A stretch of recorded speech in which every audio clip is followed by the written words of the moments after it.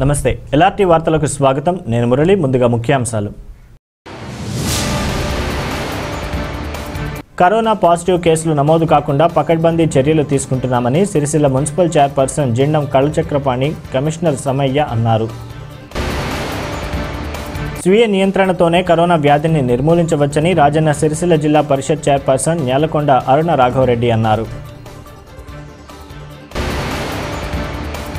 Lockdown నియమాలను ప్రతి ఒక్కరూ తప్పనిసరిగా పాటించాలని రాజన్న సిరిసిల్ల జిల్లా కలెక్టర్ కృష్ణ భాస్కర్ మానకొండూరు శాసనసభ్యులు రసమయ్య బాలకిషన్లు అన్నారు.